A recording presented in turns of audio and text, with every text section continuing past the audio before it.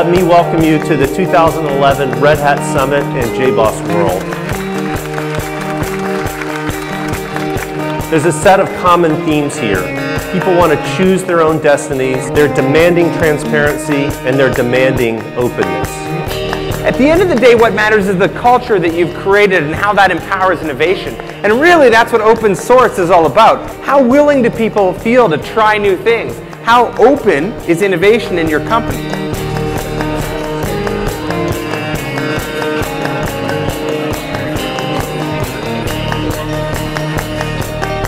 This is my third time, second time in Boston. It's great. I mean, it's getting bigger and bigger every year. We uh, do a lot of business with a lot of big vendors here, and uh, it's nice to actually go out and give some feedback. I took the RHEL 5 442 class, so seeing some of the new things they're doing as far as tuning goes is pretty awesome. Uh, the lab that I just left was probably the coolest. I haven't done anything that cool since college.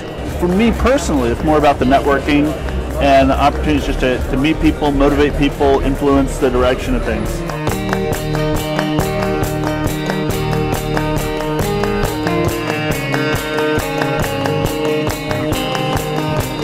I'm psyched. It's a, it's a good event. It's a, my fourth summit that I'm in person here, and every time it gets better and bigger, and it's it's good.